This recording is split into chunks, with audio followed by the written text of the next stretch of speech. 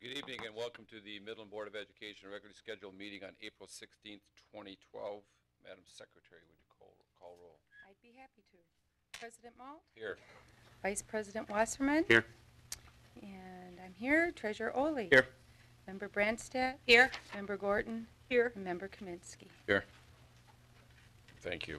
Uh, Before we uh, get into the consent agenda, is there anything anybody would like removed or um, to an actionable item or have anything else they'd like to add at this point? Hearing none, we'll go through the consent agenda. 2.1 is the minutes from, minutes from March 26, 2012. 2.2 is the following uh, persons have been recommended for employment. 2.3 is the following staff members that announced their resignations effective date indicated. 2.4 is the administration recommends renewal of the food service contract with Chartwells for 1213. 2.5 is the fund targeted for the countywide enhancement millage included in the February budget revision. Administration recommends the purchase of seven 65-passenger school buses. 2.6 is the uh, Board Auditor Yeo and Yeo outlining the firm's plan and procedures for auditing the district's books for 2011-12. 2.7 is October 9, uh, Midland Public Schools joined other districts in a lawsuit uh, against the state of Michigan seeking full funding for newly required programs. The, uh, 2.8 is the approval of the authorization for the following legal bills. uh, And I know that Dr. Kaminsky had a comment on one of these. Yeah, just the, uh, you know, I've had a chance to talk to one or two of the mechanics for MPS, and they've noted the condition of some of the buses with the high miles and everything else, and uh, I just think that the, uh, you know, the item of buying the buses, I know, uh, you know, sometimes we wonder, could we use those, that money directly in the classroom, and I definitely want to support the need, you know, for the safety of the students and some of the condition of the buses that are there, and plus, that's the spirit in which the enhancement millage raised the funds. So just, uh, just to add that comment in there. I move approval of consent items uh, 2.1 through 2.8. Support. Moved by Mr. Early, supported by Mr. Wasserman. Any further discussion or comment? If not, we have a motion on the table. All those in favor signify by saying aye. Aye. Opposed, same sign. Motion carries. Request to address the board. We've had several people uh, sign up, and as I uh, uh, will let Cindy call the name off, but I'll lay some ground rules. We will ad- adhere more closely this evening to the five-minute rule. If you hear the buzzer, unfortunately, your time is up. If you continue uh, beyond that, I will ask you to step away from the microphone and the podium. Uh, It's only being courteous, courteous to everybody that's here. We have a good crowd and a number of people that are uh, wanting wanting to speak. So please limit your comments to five minutes or less. So with that, Cindy, the first person? Amy? Good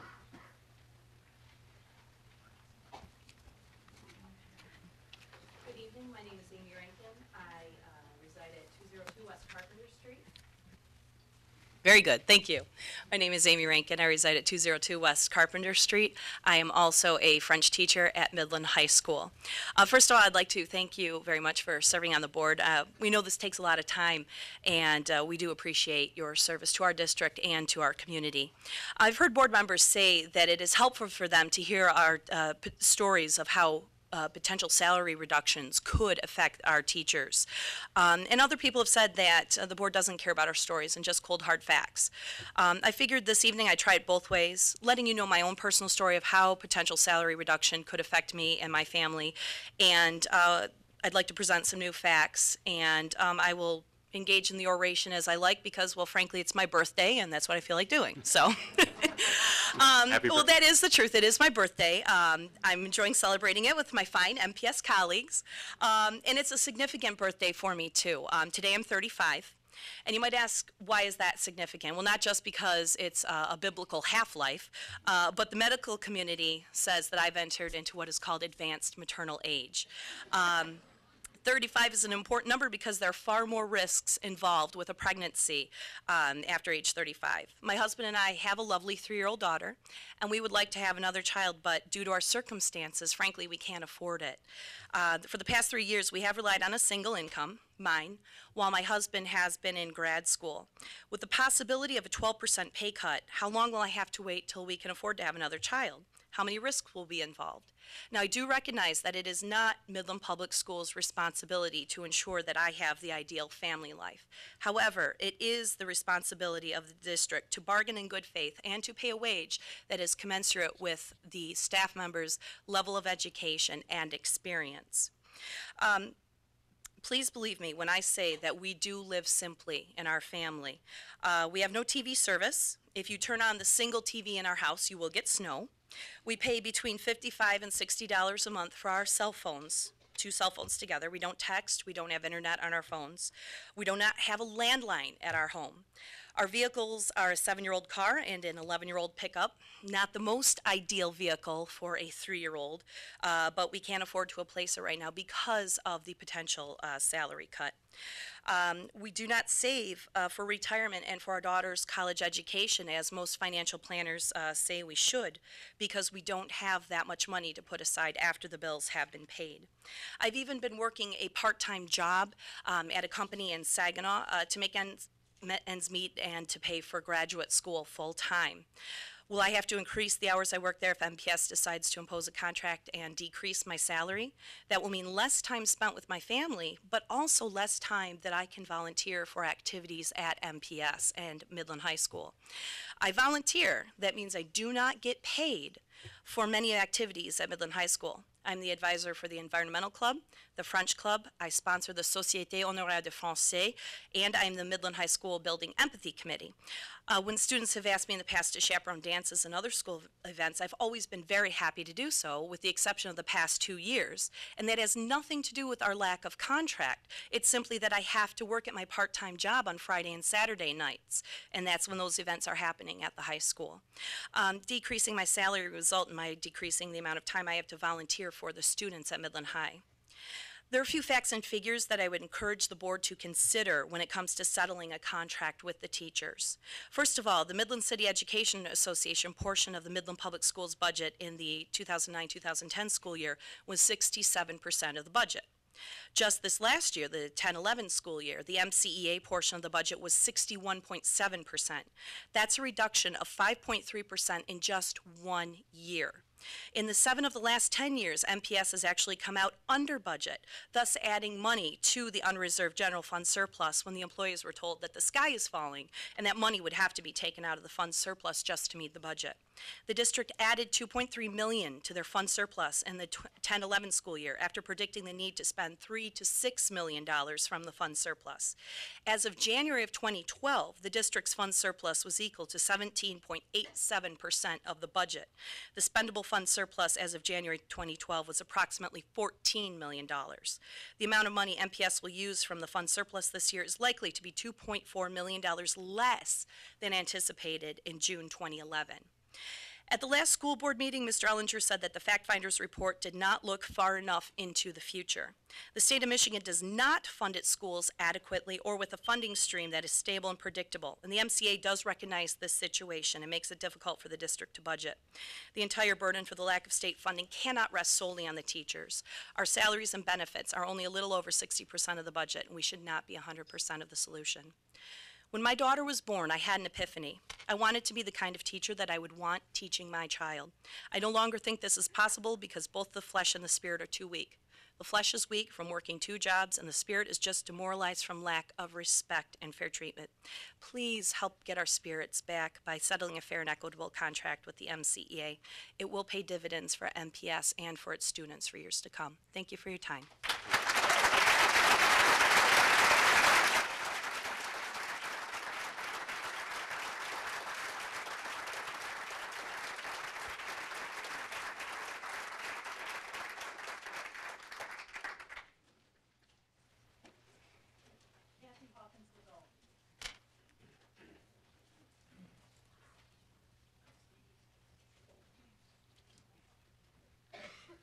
Hi, my name is Kathy Hawkins Lagoen. I reside at 4614 Chatham Court, and I teach at Dow High School. I have read, watched, and listened to both sides of my contract debate over the last couple of years, and this is what I understand to be true from my district's website, my association, and from reading the Fact Finders Report. Fact, January 2010, the fund balance, my district savings account, was a little over $12.7 million. Fact, March 2010, bargaining began informally to create a one-year contract for teachers. My district was projecting a huge deficit budget spending loss in the millions of dollars. Fact, May 2010, my association proposed a 0% salary increase for the 2010-2011 school year and offered the district approximately $500,000 worth of concessions in various economic features of the contract. My association could not offer concessions on health insurance at that time because my district had not recruited, uh, completed their bidding process on health insurance requirements. Fact, it's fall 2010. My district's position was a salary reduction of $7.3 million, 7.3% over three years, and a two-tier salary schedule changing the number of years for a teacher to reach the top of the pay scale from 14 years to 28 years, and cuts in health insurance benefits. Fact, April 2011, my district changed from asking a 7.3% salary reduction over three years, in addition to other economic concessions from teachers, to a table proposal of needing a 10% salary reduction over the next two years with other major concessions. Fact, it's now May 2011. A mediator was invited to the table during negotiations. Through the summer and the fall of 2011, my association offered as much as $3.6 million in concession with the potential of $4.8 million in savings to my district through a formula mechanism. The mediator was unable to convince my district to make the same kind of financial movement to meet in the middle. Fact, June 2011, my district added over $2.3 million to the fund balance. It grew from 2.2 million to over 14.5 million. Fact, August 2011, my association to this point had offered three furlough days, a formula for potential salary decrease or increase based on the revenue received from my district along with other health insurance premium sharing. Fact, it's now October 2011. After a few more mediated meetings, my district moved from a formal table position from a 10% salary reduction over two years to a 8% reduction in salary over three years. Fact, December 2011, a fact finder was brought in. Fact, March 2012, the fact finder's report was released. The district is not in dire straits. My district has added to their savings account for the last nine out of 10 years. The unsettled issues are still salary re- um, reductions, increase in our class sizes, professional compensation, and insurance premiums.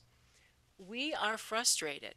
Isn't it, isn't it the point of negotiations to have a fair and shared sacrifice solution? We have made many, many sacrifices. Please work together and compromise in the best interest of our students and also in the best interest of our staff and their families. You say we are a family, the Midland Public Schools family. I say reasonable caring families work together to solve problems. I'm asking you tonight, please settle our contract equitably.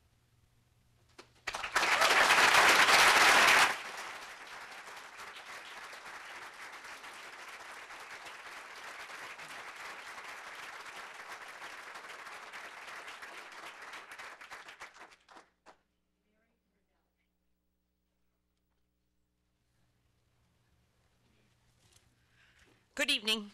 I'm Mary Friedel. I reside at 2012 West Nelson Street and I teach chemistry at Dow High where I've taught for 20 years. I'm normally not a complainer. I've actually had people refer to me as a Pollyanna. However, I am concerned about Midland Public School students, my colleagues, and their families. I don't understand the mentality of cutting programs, increasing class sizes, the proposed decrease in our salary and benefits in an effort to keep money in the bank for the district's possible what ifs. Your track, track record so far for the future vision and budget projections has not been a winning one. Year after year, according to Linda Klein, there have always been, there's always been a bigger need than actually happens, and the other people who have been up here have stated that. And last year, we actually added to the fund balance. Future vision. You talked about cutting busing and then you buy new buses. Future vision.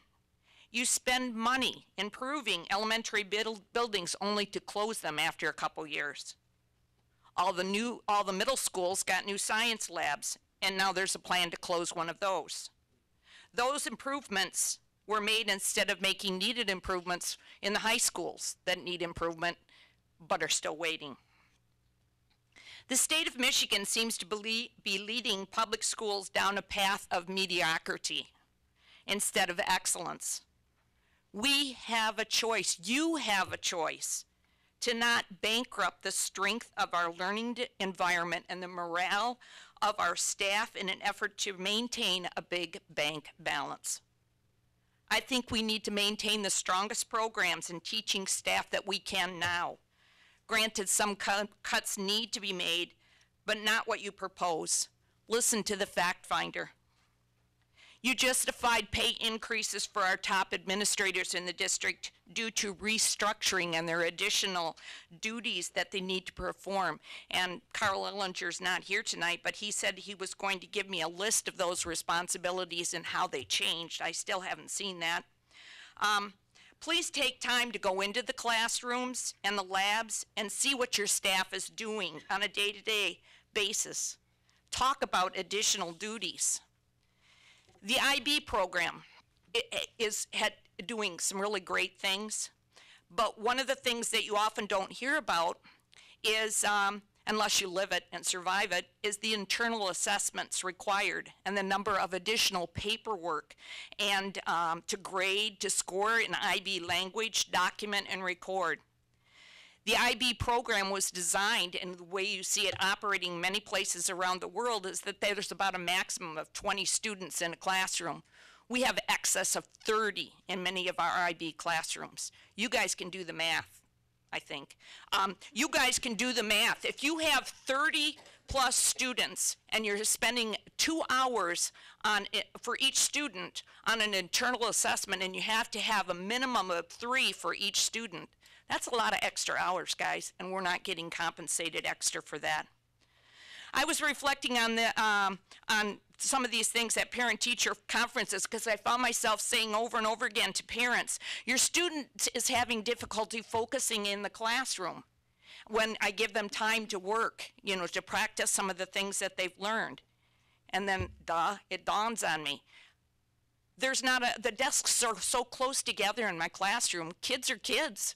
They're going to start those side side conversations when I'm helping another student.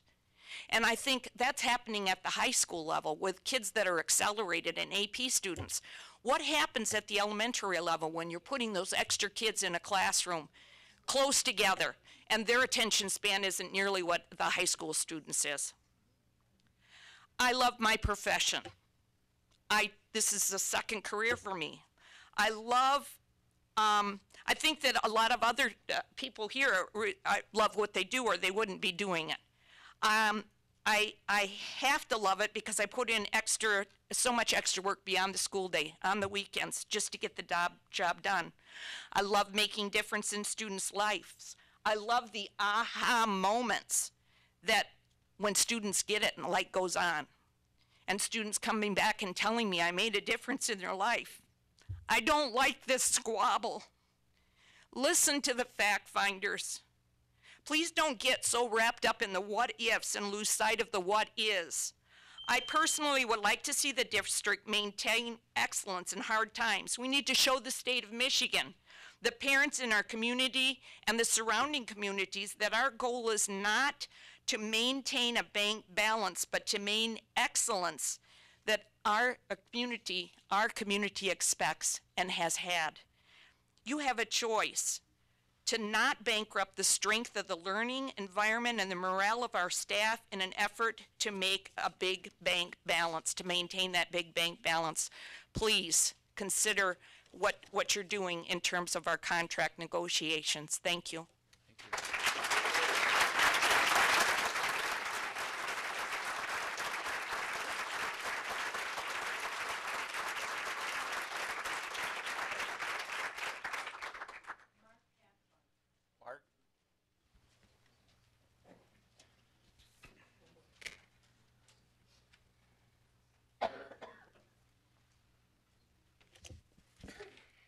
Hi, my name is Mark Hackbarth. As most of you know, I reside in Midland. I teach at Jefferson Middle School, and I have three kids that are currently in Midland Public Schools. And that five minute timer, I've got a couple of former students in the room and at least one current one. I bet they're wishing that five minute timer were in the front of my room. So, but anyway, I was sitting out in the audience for last school board meeting, and I listened to my passionate colleagues, talented colleagues, um, sharing their concerns with you, the board. And then I listened to Superintendent Ellinger's comments afterward, who I wish he was um, here at the meeting tonight, and heard his, when he was given an opportunity to pull people together, I saw him drive a wedge further between people by making misleading comments, half-truths, and, and basically incorrect information. And I wanted to focus on one of those because this is the one that caused me to get up and leave the last school board meeting. He made the comment that teachers view steps on a salary schedule as entitlements. And it was at that point that I could not take any more and decided to watch the rest on the computer at a later date. So I came here tonight to give a brief lesson on where salary schedules come from and also what they do for school districts like Midland Public Schools. First of all, um, when public education came to be, um, in the late 1800s in the United States anyway, teachers were primarily single females. And their compensation consisted of being boarded and fed, often by a family member of a student who they taught, or in larger communities, it was boarding houses. Then in the industrial age, 1920s through the 50s, um, the requirements for teachers were greater, so they began to be paid a, a salary. The problem was there was gross inequities in salaries. Two people with the same experience and same situation would be paid vastly different quantities. Men more than women, whites more than minorities. So salary schedules were developed to make it fair based on experience and level of training. Which brings us to what salary schedules do for districts like Midland. Um, first of all, the steps on a salary schedule, for those who don't know, are there to keep teachers with the district, to pay them two, three thousand, sometimes a little more, more dollars each year up to a certain point that they stay with the district. And in Midland, that point is 14 years. And it's for the simple fact that a district shouldn't be having to retrain a teacher every couple of years because they get trained and move on somewhere else where the opportunities are better. You want to keep them in your district because experienced, talented teachers pay off in the long run. And salary schedules also often have payments for extra degrees because you want your teachers to continue to improve. But there's a second function that salary schedules serve that districts usually take for granted and don't like to talk about. And that's the fact that they actually save districts money. And you might say, come on, Mark, there's no way I can save money. Um, we're paying these people two, three thousand or more dollars extra every year just because they've been here another year. But when you compare the training of a teacher out of college with similar professions, with similar expectations and training, teachers are paid significantly less coming out of school, oftentimes 50% or more or less. So districts use salary schedules to put off that time where they have to pay them what they should have paid them out of college. And in Midland's case, in Midland's case of 14 years right now, that's saving money all those 14 years. So I did a rough calculation on me. I'm old enough that I was back when it was 13 steps. And I looked at that and, and came up with about $190,000 conservative estimate that the district saved on me by paying me less than what I was, quote, worth coming out of college. Um, and if you multiply that, that by the number of people on steps, that's a pretty significant number. Um, that being said, back to the entitlement. To me, the word entitlement means receiving compensation for something you didn't earn. My colleagues and I go in every day and work our tails off to help our kids. And we put in lots of time after school and do lots of extra things. I didn't consider the steps that I earned when I was a new teacher an entitlement. I earned those. Just like I earned the money for extra degrees that I paid for myself to take. And finally, you'll probably hear later on in this board meeting, and I've heard it stated before, that the average teacher salary here in Midland is, is higher than the area around us and probably over the 90th percentile in the state. And I'm not going to apologize for that because to me, we outperform, our students outperform all the districts around us, over 90% of the districts around the state, and there's a reason for that. It's not a coincidence that a district that, that compensates its teachers well can attract the best people who stay and receive further training, therefore resulting in better performing students. So my hope, I'm, I know I'm out of time. I have one, I want to wrap it up. What I'm asking from the board is that we hop off this bandwagon of bashing teachers, saying they make too much, they're not worth it, we, we need to get the costs in line. Get off the bandwagon of teachers are a line on a spreadsheet, or they're a, they're an expenditure that needs to be controlled. And through more than just words with action, show the appreciation for what the teachers do every day for this district and for the students in this district. Thank you for the extra time.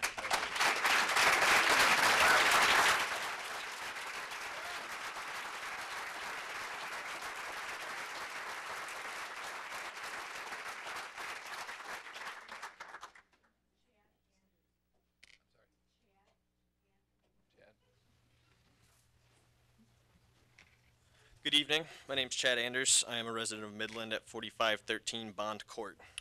Um, I've been a pretty good listener through all this because this isn't my field. I know nothing about what it takes to be a teacher other than it would have been hard to deal with me when I was in school. um, I'd hope you guys have been listening to people through this whole thing as well. Um, it seems like people have given a lot of thought into what they had to say, uh, but it would seem that history would say this is to the contrary. Um, there were people from the uh, MCEA that got together and Fact Finder that got together and came up with facts and suggestions entirely different from your own. Um, and this wasn't one or two or even ten people. This was two entire groups of people, along with everybody in this room. Uh, those people were paid to find facts. Um, it's it's their job. We appointed that to get the most for our money. So I have to conclude you must like spending money more than you thought. You prolonged the process with little movement until April 2011 from August 2010 and blocked the idea for proposed savings by switching insurance providers. Then in June 2012, you placed $2.3 million of unspent taxpayer dollars into a fund surplus for a total of 17.87% of the budget. All these seem pretty contrary towards bargaining in good faith. They do. I would not be looked at with any amount of sanity if I had asked es- experts for advice in a field other than my own, only to disagree with them and dismiss them while trying to hold them accountable for failures. It takes a lot to be so sure of the facts that you've proposed if you're willing to tell so many people they're wrong. If I'm wrong, and I think I'm wrong, I generally don't go sure footed into it. That must be why you felt the need to give yourselves a further compensation for at least 23 of you, uh, some by as much as 88.7% last year. You gained more than other districts in the state as far as percentage of your budget, and your income has or your income returned was more than what was lost in state budget cuts. Now, it's not natural to be aware of one's own shortcomings. They usually have to be recognized in order to overcome them. You describe people you describe people who are generous and people who are greedy based on the average natures of others, not looking at not looking at the nature of one individual, but by the average. By looking at the nature of your situation in other districts, it seems clear that you are driven by greed, not by a longing for a successful educational system. I hope that listening to the people here and people in the district and the fact finder hopes you enlighten and recognize yourselves to the shortcomings that the district has had with money. If not, you should be ashamed to say that this was ever for the children. Thank you.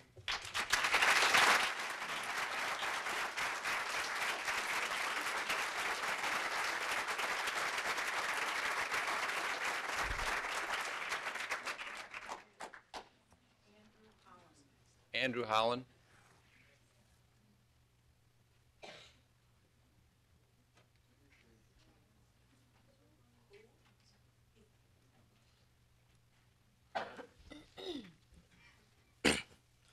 Afternoon. I'm Andrew Holland, and I'm a representative of the Midland Youth and Youth and Government Program uh, that is provided at our school, and a fond lover of the Midland Public Schools. Now, the students of youth and government recognize that there's a problem with the contracts. We also recognize that this will be a very difficult decision for uh, the board. We recognize that other schools have already completed their already completed their contracts who have also had problems with them. We also recognize that a fact finder has been sent to try and find the facts, and we also recognize that there needs there is a need for compromise. Now, as a student in from Youth and Government, which is a program specifically to learn the acts of government, we found that compromise is needed, whether you are Republican or Democrat. That might not be the biggest thing here, but we've learned that there needs to be a sense of compromise. So, with we implore you, the students of Youth and Government, of course, implore you to find compromise with the uh, teachers and finish these contracts. Uh, now, I'm a student of Youth and Government, and I'm uh, a student of Dow High. I'm so sorry, and I am very proud of what the school system is done. I'm not from Midland, so this has been one of the best school systems I've ever witnessed. Now, without saying that, uh, the other schools I've attended have had much lower salaries. Now, I believe that these great salaries that the teachers have are very much benefiting their uh, ways of teaching. Now, I do realize that there is a need for compromise, and if there is economic problems, then we must solve that. So, for the sake of our education, for the sake of youth and government as a program, for if this contract is not settled soon, we may not have another year with this great project, with this great program. And for the sake of our teachers' quality of life and their security of welfare, we implore you, please, to compromise, finalize these contracts. Thank you.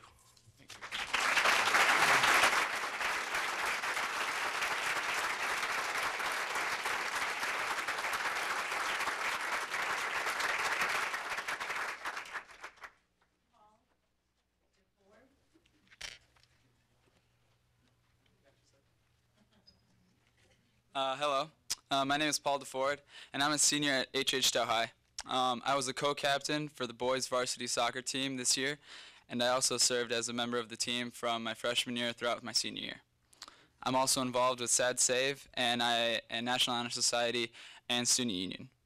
Um, at this time, I would like to bring up the topic of teachers' contracts that are currently in negotiations, quite obviously. I, along with the next students that you will hear from, would like to address the main issues at the heart of this negotiation, these negotiations. Uh, gathered here tonight, as you can see, there are several members of Dow High's clubs, sports, and academic grade levels.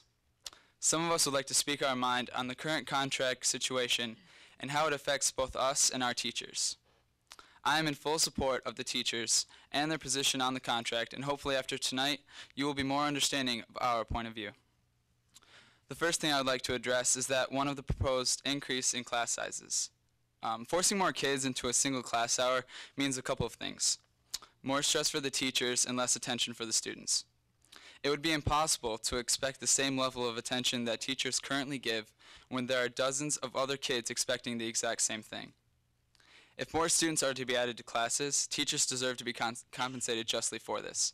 And if not this, when coupled with steep wage reductions, this could potentially force teachers that act as coaches and advisors to forego these commitments in favor of preparing more for lesson plans and focusing on more ways to compensate for lack of income, and that's something that simply cannot happen. I was privileged enough to be on part of the, the high varsity soccer team, as I've already stated. Being on the team that long was more than enough time to see exactly how devoted our coach, Mr. Jeff Richards, is to the program and to the school. Beyond the school year, we start training and practices midway through July, which is yet even more time than Mr. Richards devotes to the team. From practice after school every day to the games that occur on average of two to three times a week, our coach spends roughly 10 hours a week from practice and 8 hours a week on games, and that's only if we don't have a tournament and if we don't go farther than, let's say, Flint, um, which we often do. I can easily say that I am a completely different person because of the soccer. One of the first and foremost things that I have learned being a member of the team was perseverance and drive. From running sprints for the team to scoring the game winning goal, everything you do, you do to the best of your ability, and you leave everything out on the field for your school, for your team, and for yourself. These are some of the most important life lessons that any person needs to learn, especially in the vital years of high school. Without the commitment and passion that Coach Richards puts into that team, I'm not sure that I would have learned everything that I have in order to be successful. This success that I've experienced is a direct result of the attention and commitment that I saw from my coach, which has finally led me to being enrolled at the University of Michigan, which I'm very proud of. Here at MPS, the standard of excellence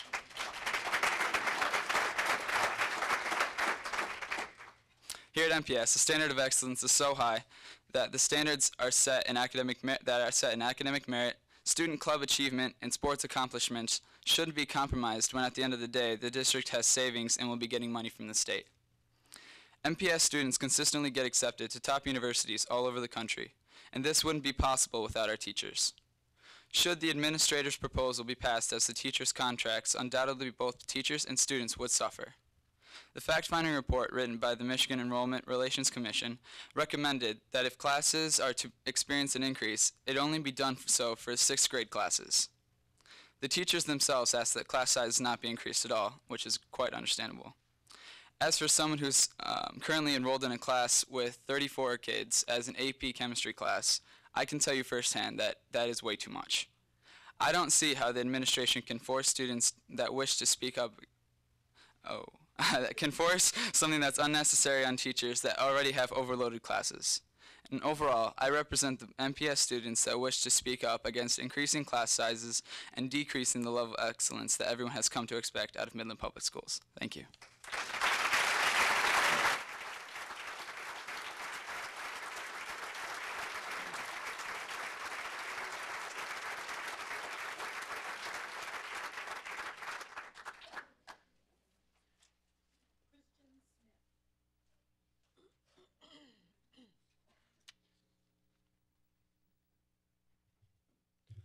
Good evening, ladies and gentlemen of the school board. My name is Christian Smith. I reside at 3696 East Jane Drive.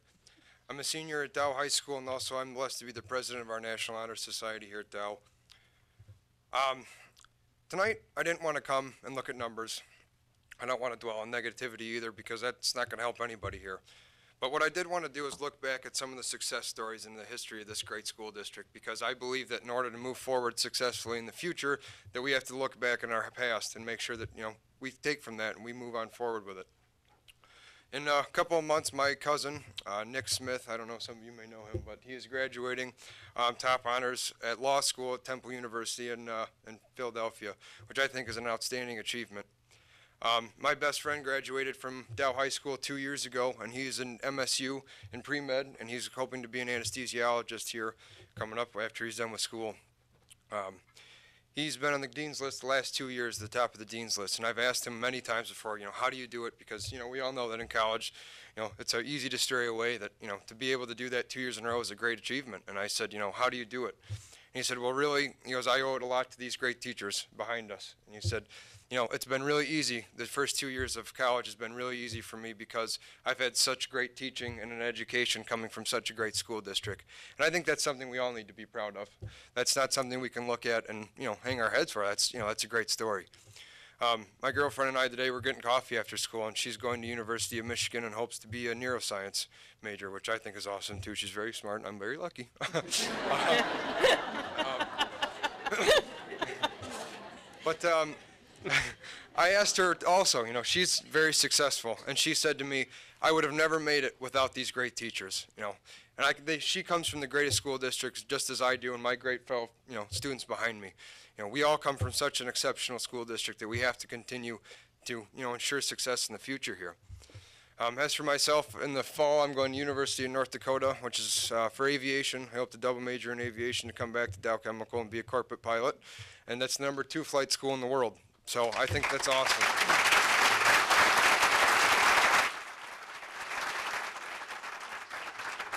I've also gotten, uh, I was selected from our principal to attend the Great Lakes Bay Youth Re- Regional Leadership Institute. Gosh, that's a mouthful.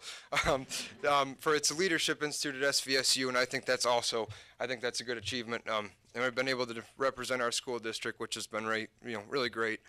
But I look back here at a lot of the teachers that I've had in the past, and uh, people I would consider great friends of mine, and I'm worried for them. You know, we uh, you know we want to continue the success, like I've said.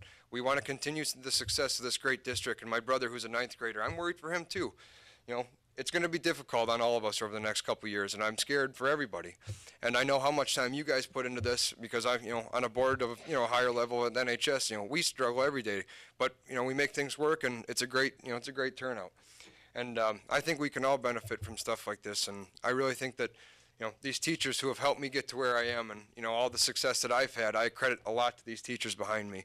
And you know, to ensure success in the future, it's going to be really hard to do that with cutting their pays and all that. You know, we need to be positive, and that's how we need to go about this. And I think we can do that and continue the success of this great district and be in the top percent of this state and this, you know, in this nation by helping these guys out. So, thank you very much for your time tonight.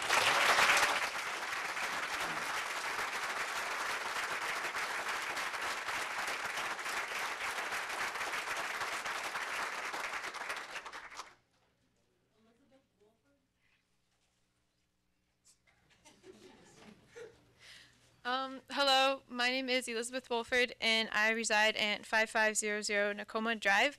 Um, I am a senior at Dow High. I am the vice president of my class for 2012.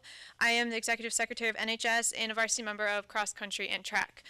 Um, First off, I want to start out by saying that I was not like asked to come here by anyone, but because I love my teachers so much, and because and actually in classrooms when we'd start talking about this and the kids would get all, oh, let's talk about government. Um, teachers would actually be like, we have to focus on academics. This is not about us. Let's like, there's a time and place, and that is not then in the classroom. But the time is now, which is why I'm here.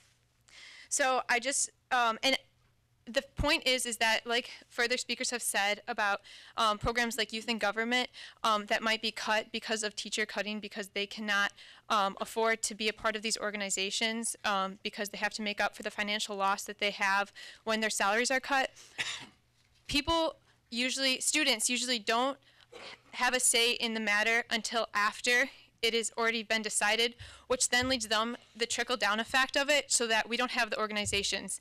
And I would just also like to point out that the Youth in Government from Midland Public School District is an award winning organization where when we go to conference, because I was a part of it, literally it's almost obnoxious because they're like, oh, and the winner for the yellow, um, the blue house is Midland Public School District. The winner for the red house class speaker, Midland Public School District, and all the other districts are like, really, really. But I mean, it, it happens.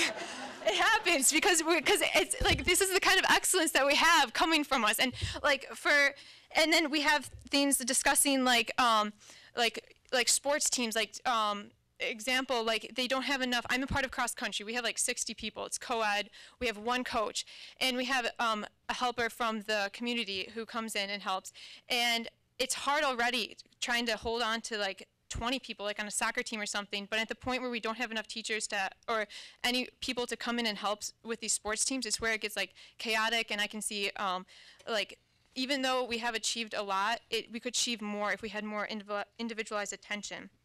And on the topic of bigger class sizes, um, well, as the first speaker said, at the point where their salaries are cut, they can't help with the extracurricular activities, which for me has been the defining moment in my high school career on many different levels, not only academically, um, where, for example, math, I am not a math person. It's, it's obnoxious, actually. Like, I do algebra like a fourth grader. But, but, but, but that's okay because I know that at 7, 10 in the morning, I wake up, I, I will literally ride my bike to school if I have to, and I will go in and I will go to the math office, and they already have coffee brewing, and they have worksheets planned out, and I will go in and I will present my scribbles of homework, and they will literally like wield axes against these monsters of problems, and they will, they will get me through pre-calc, and they will get me on so that, and in a university level, I can receive an A, and it's at that point where I can see my teachers. I even had a teacher actually this week come in at 6:30 in the morning because I had a meeting at 7 to help me with a speech that I was preparing for commencement. And at that point, it's where the sun isn't even up and my teachers are helping me. It's where you're like, shoot, this is dedication at the highest level. And at the point where they don't have the salary to be able to do that kind of thing is where people like me get lost in the shuffle and people like me cannot reach the excellence that I have not only demanded of myself, but demanded like of other people and brought them up. So then in turn, being tutored from my teacher, I can go out and be an NHS and tutor others, which then leads to a multiplying effect and it's just craziness and it's good. And things like organizations, like organizations that already have been cut to for things like this, like Camp Outlook and Dow High. It's this weekend camp where the teachers go and they donate their time and they, they get on a personal level with the students and talk about real life topics. And from that, experiencing it as a freshman, I understood that leadership wasn't just something that happens like in school, but it's something that happens when you go out of school. And that's the kind of traits that are being taught at Dow High. And that's the kind of traits that I think make us great. And at the point where we don't have that is the point where we just become a school district that is subpar because right now we're above par. People look to us. Like I've been a part of other school districts where I didn't have teachers come in early. I didn't have teachers stay during seventh hour. They went home, and I like so my grades suffered. And then when I came to Midland Public School Districts and I brought home like an A in my report card, I'm like, Mom, what's up? And she's like, Oh my gosh! And it was it was awesome though. And I know some of you board members, like. I and I respect your position. And I met Mr. Ellinger um, when he was narrating for the fourth grade concert because I'm in orchestra, and he's a great man, great speaker. I mean, you know, very commanding voice. But like, um, the fourth graders listen to him. But right now, I just want you guys to listen to me and my part of this because, like, on academic level with math, athletic level with cross country, extracurricular level, there's just so many facets that go in, and I don't know. I'd hate to see it lost for moment moment for money reasons. So, anyways, yes, thank you.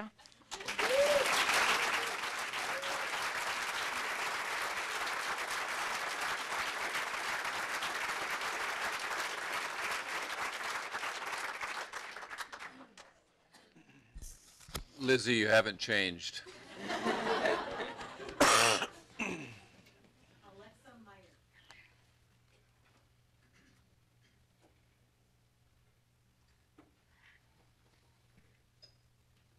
Hello, my name is Alexa Meyer, and I reside at 3101 Camberley Lane. I am a senior at H.H. Dow High School.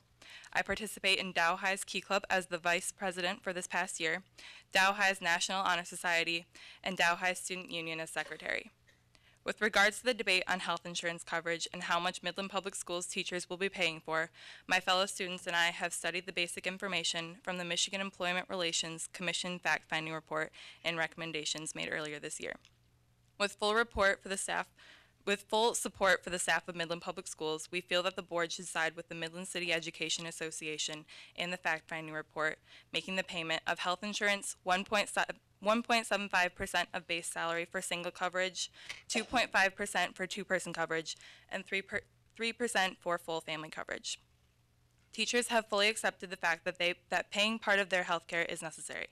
They are willing to make concessions for the good of Midland Public Schools, but the district is proposing an unreasonable amount.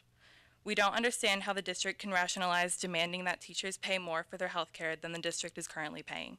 We realize that the district administrators have been paying for the teachers' health, health insurance for these past two years, but does that give them the right to force the teachers to make up that difference by having them pay more for the rest of their contracted careers?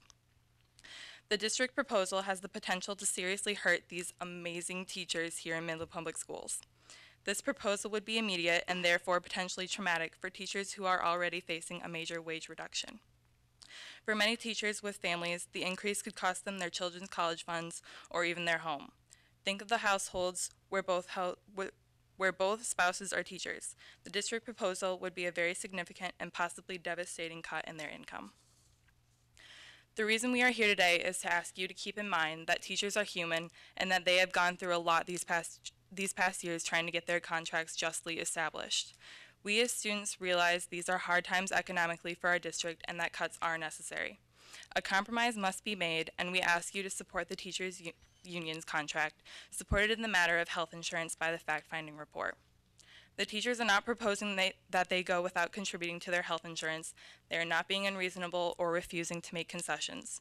Rather, we believe they are asking to pay an amount that is sensible for the economic situation at hand. In reviewing the health insurance situation, we again ask you to strongly consider the rationale behind the mandated contribution to healthcare and keep in mind that our teachers would never ask for a reduction that would be dangerous to the district. Thank you.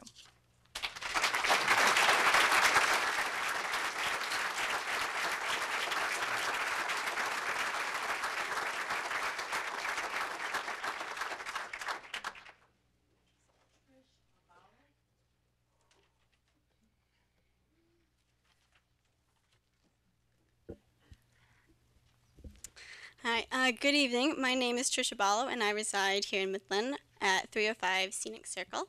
Um, I'm currently a senior at Dow High, and this past school year, I have had the honor of serving as the president of Dow High Key Club, and I'm a current member of National Honor Society. I would like to take some time to discuss why the proposed gross point formula should not be included in the teachers' contracts for the coming school years. That the teachers' wages could potentially be cut due to a miscalculation or decisions unrelated to their salaries is legitimately frightening. Nobody deserves that kind of instability factored into their income. I see this formula as the MPS teachers being the ones punished for something that is completely out of their control. Now, the administration's rationale for inputting this system is an attempt to save money. I understand that the district budget budget is projected to lose a substantial amount of money for the upcoming school year. But I'm hesitant to trust these projections when the fact-finding report filed for earlier already rejected the need for this formula. As well, projections from the past few years don't seem to quite add up. For example, in May of last year, the Midland Daily News reported that the district proposed various cuts to help save for the budget. Uh, one such cut recommended by the administration including eliminated or included eliminating some of MPS transportation. And yet, at the end of that same school year, they were able to buy nine new buses with the $2.3 million that the budget ended up gaining at the end of the school year. The discrepancy between words and actions here makes my peers and I hesitant to trust the validity of the administration's projections. We are much more inclined to put our confidence in the objective fact-finding report and thus agree that the gross point formula should be rejected. I ask that this board not integrate the gross point formula into the teachers' contracts because it honestly does not make sense that our teachers' wages would be definitively linked to the budget. To connect these two matters would honestly be ridiculous. To implement this would be unjust and unnecessary. Again, I bring up instability as a key point in doing away with this system. Our teachers have been so decent in the face of these contract negotiations. I am here tonight on behalf of the appreciation and respect, the immense respect that I feel for these people who every day share their knowledge and strive to continually assist MPS students succeed both inside and outside the classroom. I would again like to stress the high academic standards we have in this school district and that this can be attributed to the excellent teachers we have here. In Key Club alone, I can honestly tell you that without the teacher advisor we have, Dow High Key Club, one of the most well-known youth volunteering organizations in this community, would not even exist. This teacher puts so much time and effort into making sure our club runs smoothly and still manages to dedicate his time to coach two other MPS sports in his free time. This is just one example of the teachers that are so importantly ingrained into the success of MPS.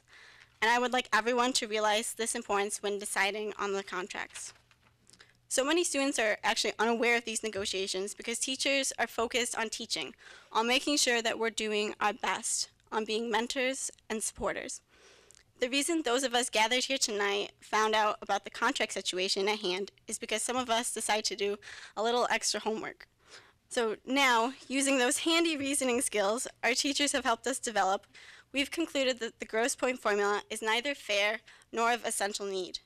We, the students of Midland Public Schools, ask that you, the board, please take into consideration what I, the Teachers Union, and the Michigan Employment Relations Commission have proposed. Do not implement the gross point formula. I ask that this board look at the situation and ensure that the administrators keep the focus for saving money on benefiting the students of Midland Public Schools, and in doing so, realized that this formula would ultimately harm the district rather than help. Thank you for your attention and for your time.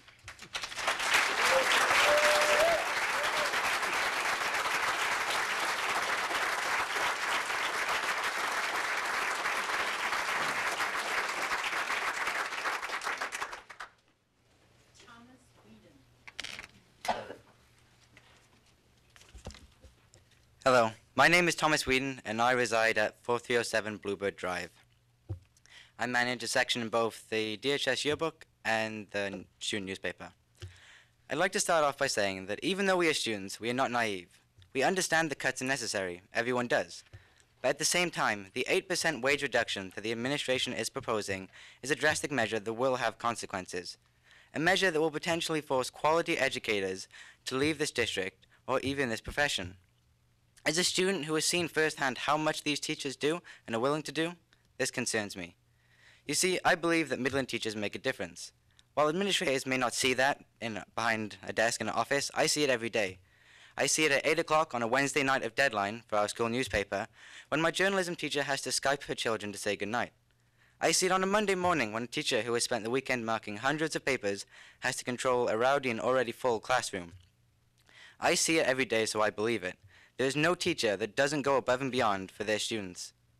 But just because they make our education their first priority doesn't mean they can be taken advantage of. Because like anyone, if pushed far enough, they will be forced to call it quits.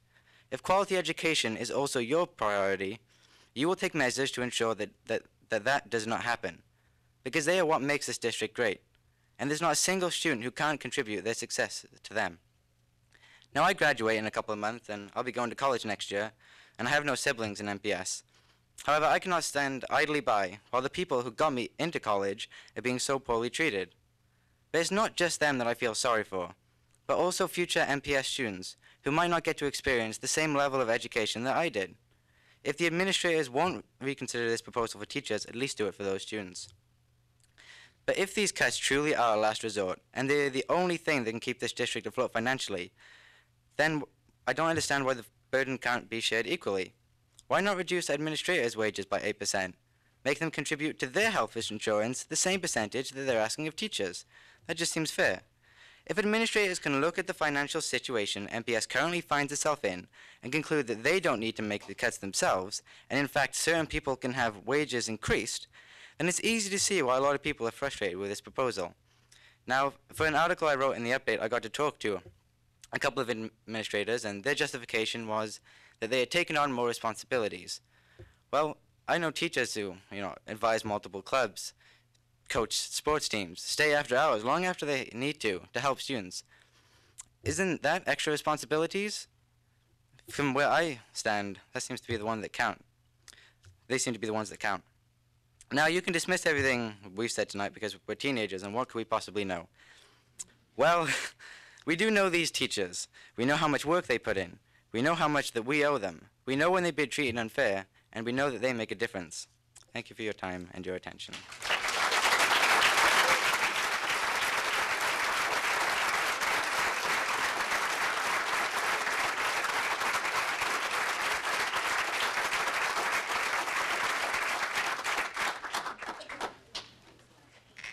That was the last one. Is there anybody else in the audience that did not sign in that would like to speak now?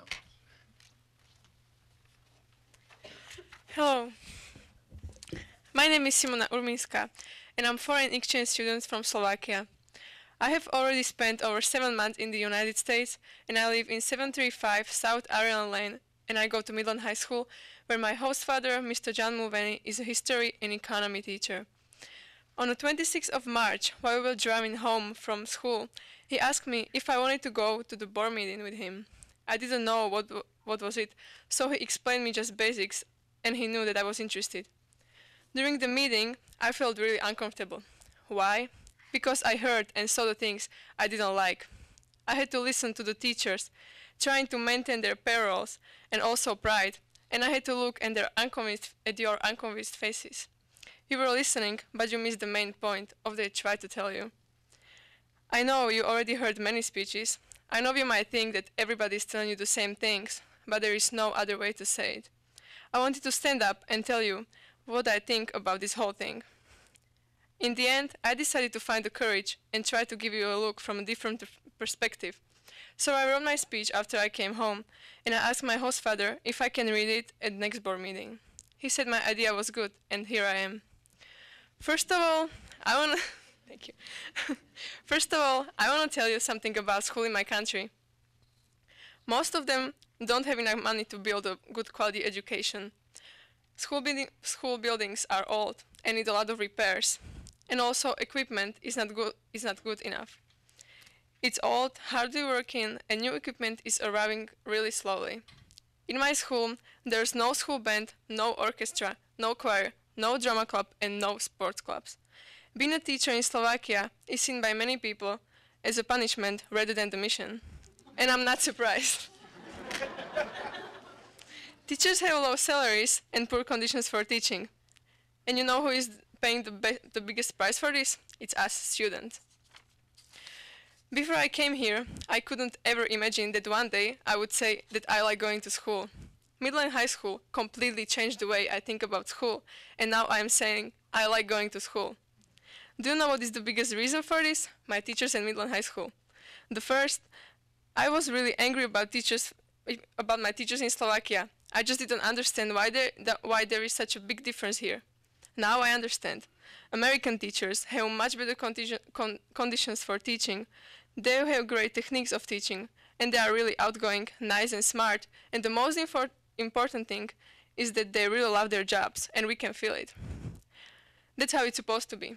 For me, being a teacher means not only the most important one of the most important professions, but also a mission.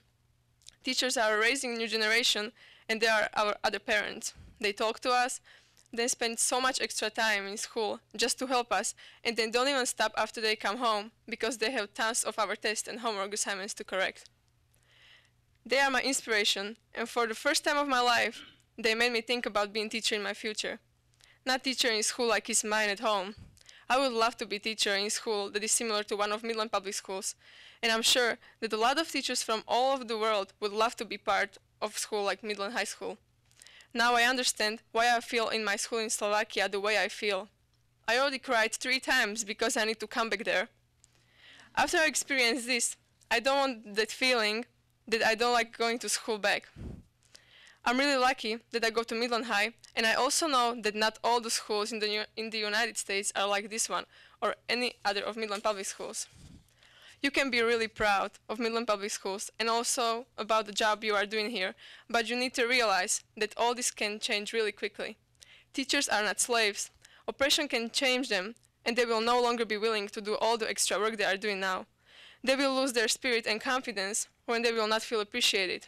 Please understand that 6% decrease of their payroll is a big compromise from their side, and now it's your turn to make a compromise. I know you say that this that's the only possibility to keep everything working okay, but I don't believe that this is. There is always some other way. You may say, I don't know anything about this, but I think I know enough to make my own opinion. And I'm sorry, but if you really think that 12% decrease is the only solution, then you are not trying hard enough to solve this problem. So please, before you do something, I think about how big impact it will have on teachers, students, and quality of Midland Public Schools. Don't try to change something that is already working great. And most of all, please, never let your students feel about school how I feel about mine. It will hard to take it back. Thank you.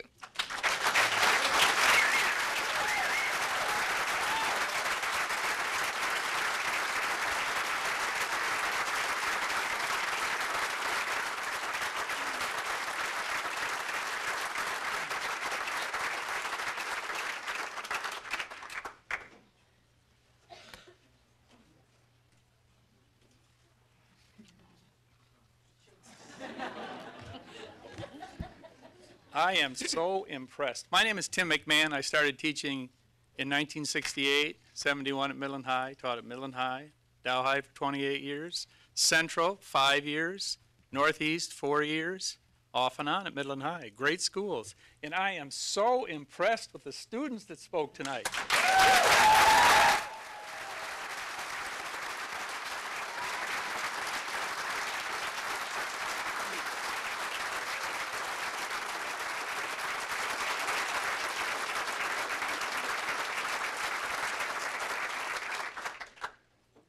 I even recognize some of these teachers that I taught with and some administrators. This is great. We appreciate the hard work you do, and it is hard during these economic times. But the time is now. The time is now to settle a contract. It really is. You have the means. You've been at it for, I don't know, going on two years. You know, if this were a a private business model, it would have happened a long time ago in negotiations. But the time is now and you have the money. We go through this, and I was involved in negotiations in the I don't know, 70s, 80s, 90s. I was there. and I retired in uh, 1999, so I'm a few years out, but it's still the same. And a lot of things have been imposed on you. You don't have the local control. You know, the 3% retirement, that was imposed. The insurance, and for Midland, it looks like it's going to be the 20%, which equates down to 4.5% of a person's pay. If your contract is imposed, and I don't think it should be, but you know, Cinco de Mayo or whatever day it is coming up is coming up quick, and don't impose it, negotiate it. You both have to walk away with from the table with something. You have the control because you have the money, and we have the people over here. And obviously, I'm in support of the bargaining group. I sat through two days of fact finding, and you all know about the fact finding. There wasn't too many people there. Carl would come in and out, and the team would sit there about right where this table is right now. And they looked at all the facts. You had a good fact finder come back with a result. You've got to settle this thing because for the average teacher, it's going to be somewhere when you start looking if you imposed a seven or eight percent over this year contract the next year. So we got you know three percent. We got four and a half on the on the insurance. We got eight percent, you know, seven to eight percent, depending on what happens on the contract. Then you've got another eight percent that will be imposed if the Senate Bill 1040 passes, and as I, as a retiree, will get hit with it. So there's not much local control there, but you still have a budget that has gone through the same cycle. And here's the cycle. At the beginning of the year, you build a budget. And you build in a lot of excess expenses. And maybe this is fiscally responsible. Some people might call it voodoo economics, but I mean, it's fiscally responsible to have enough money at the end to pay your bills, because if you can't pay your bills, then you're out of luck. But you do have the means. You got to come together with these teams and solve it. Because think of the students, the parents, and the teachers where their goodwill is slowly eroding away. And we don't know how much this intangible called, called goodwill is. We don't know how much is there. But we do know after two years it's starting to erode. And you do have the means to settle it. So that's my final words. Settle it.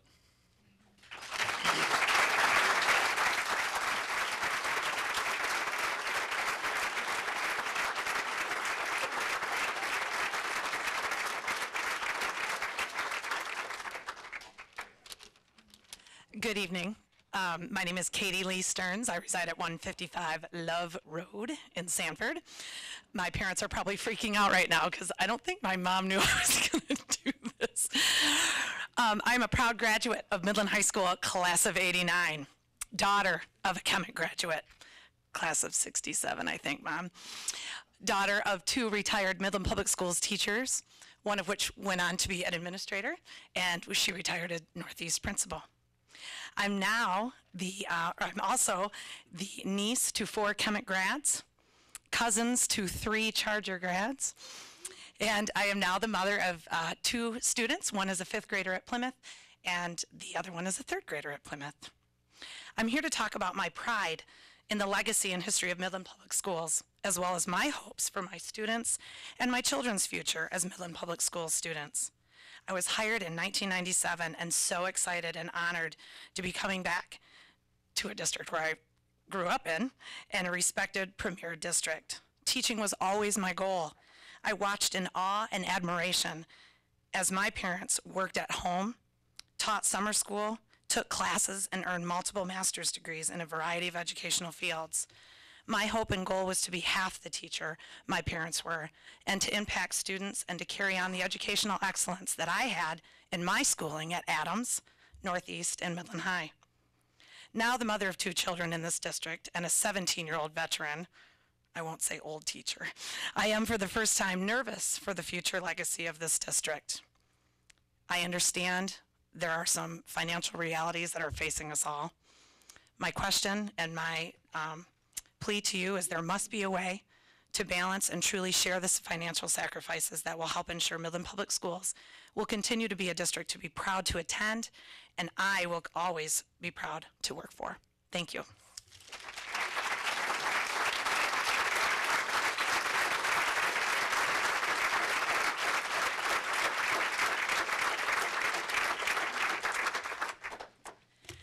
Good evening. My name is Kara Baker. I reside at 1206 Kingsbury Court, just two houses in from the lovely Siebert Elementary and about two blocks from where my husband grew up and went to school, Siebert, Jefferson, and Dow. When I moved here four and a half years ago, he made it very clear I was to live in the Siebert, Jefferson, Dow district. There is a lot of pride in that family. I'm sorry for those of you that go to anywhere else. Um, so I moved here four and a half years ago from a district about the size of Midland, and uh, because my husband was from here, my in-laws still reside here. Uh, I was told excellent school system. Did a little research on my own as the child of two teachers as well, and was surprised to find at the time how many elementary schools you supported. I couldn't believe that when my district literally was three times the size of what I'd come from. And since that time, now that I've moved here four and a half years ago, you've made hard choices. So I know that those hard choices can be made. There are highs and lows with my experience here in Midland in comparison to my other school districts. I walked in on the first day of school to drop my second daughter. I have four in your school system. Daughter number two off at kindergarten and was unbelievably floored to find that she was one of 28 students in a kindergarten class with a half time paraprofessional. I came from a district that had no more than 19. I glanced to my right and saw a cute little computer. It reminded me of the Commodore 64 I had in elementary school. I kid you not, it was a cousin to the Commodore 64. But I know that the elementary school that my students attend now is getting some fantastic mobile computer labs, so that part's changed a little bit. My daughter number four is in kindergarten this year. She is one of 28 students. I wrote this letter to you, letter to the editor that ran uh, last week. In case you didn't read it, I'm here to read it to you so you can hear how I would have read this to you at that time, and I'm doing now. Every morning that my daughter's teacher wakes up and arrives to school early to teach no fewer than 28 students in each of her two kindergarten classes with a smile on her face and an incredibly gentle voice without a contract is a miracle. Stop treating it as anything less than that. It is a disservice to her as a teacher, to my daughter as a student, and to me as a parent. Thank you.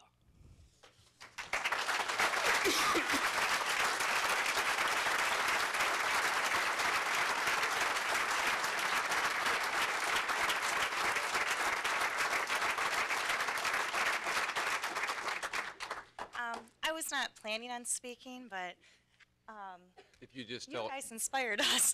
can you give us your name, please? Stacy Hill, 4815 Butterfield. Um, as you talk about teachers inspiring you, you inspired a teacher right now. Thank you. Um, we've talked a lot about how much how hard we work as teachers and what we do, and I think you've heard that and got the message. But another thing I want to talk about is how we can. Uh, how we contribute to our community, not only our kids, but our small businesses. Um, I haven't heard many people talk about that, but I live here in Midland and do all my business here in Midland. And as I go in the grocery store, I run into all the teachers. I run into teachers as I get my hair done. You see about three four teachers. Even I've seen some board members at the hair salon. Um, our churches, supporting our churches, as well as supporting United Way. We are, you know, do a lot there as well.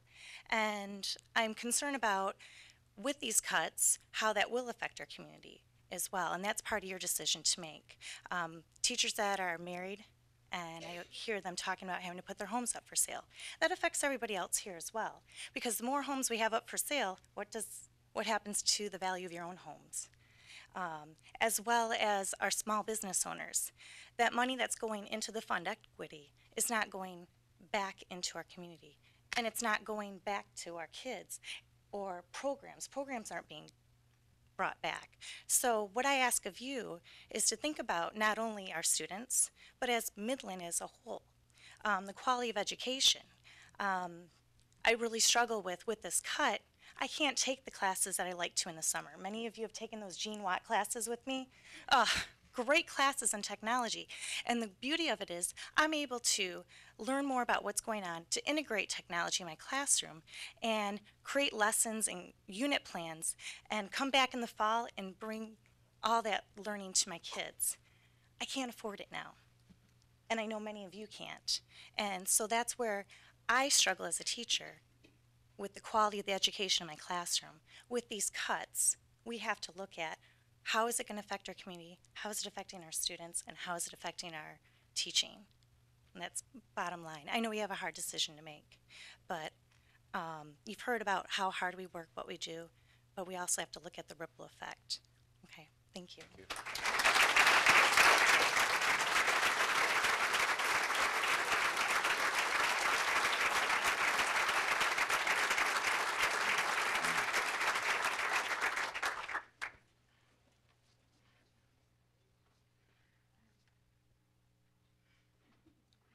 see no other, nobody else approaching, or is she coming out through the other, coming in through the other door? I don't think so. Okay, She's not. all right. Um, With that, um, just want to let everybody know uh, that we are listening, and uh, we will at this time close the public comments to the board. Um, We will go into our regular agenda, so if, if now is the time, especially for the students who are in the audience, if you have to get your homework done yet tonight, uh, we'd like you to excuse you now so that we can uh, uh, go into our regular agenda.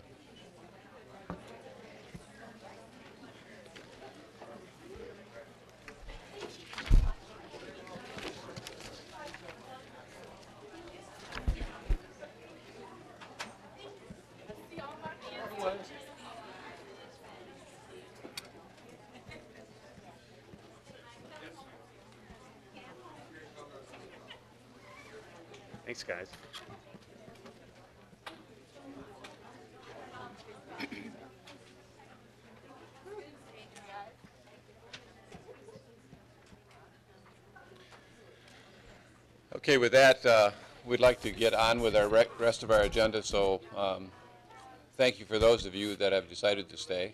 Um, It certainly won't be as inspiring as uh, what you just heard, so, but thank you. Um,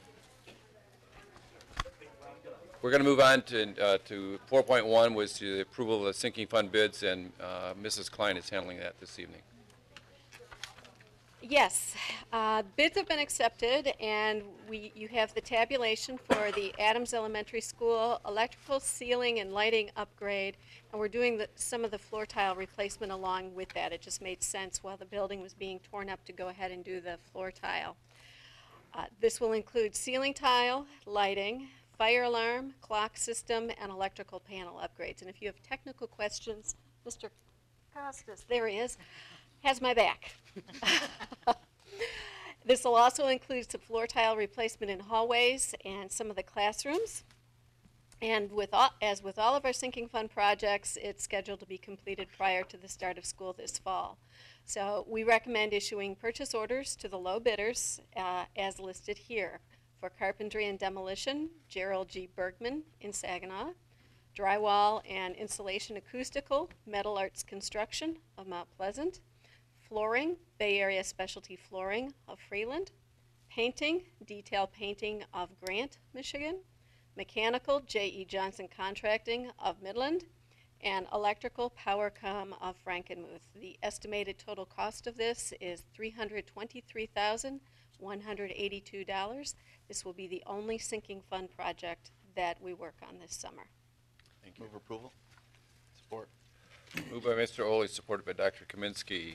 Questions or comments before we, I just heard a whisper behind me, we are going ahead with some concrete replacement as well, but that's not part of this. But That's a fairly small. Dave, would you mind amount. joining us at the podium just in case there's uh, questions?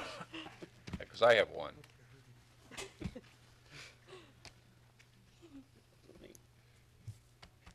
Yes. Is- Is this our last building for ceiling and lights? Uh, no, uh, Woodcrest, we haven't done Woodcrest. That's uh, our newest Okay. school building. We haven't done the administration center. We've, we've done the boardroom, but uh, we haven't done this building yet, nor our grounds and maintenance building. But as far as school buildings, that leaves Woodcrest. Okay. Timeline on this, starting in this after school? Right, well, actually, we'll, we'll try to start this one uh, nights, probably uh, early May, and we'll work s- night shifts to get a, a jump on it. Start roughing in some of the fire alarm and some of the things down in the tunnel we can get at. Any major un, I, that's a- I know this is an oxymoron question, any major unknowns you're concerned about that would delay the schedule before the start of the school year next year? No, this is pretty much typical of all the other ones we've done, and usually we get them, we get them done by school. There's, there might be a few punch list items after, but it's, we usually don't have any problems getting them done.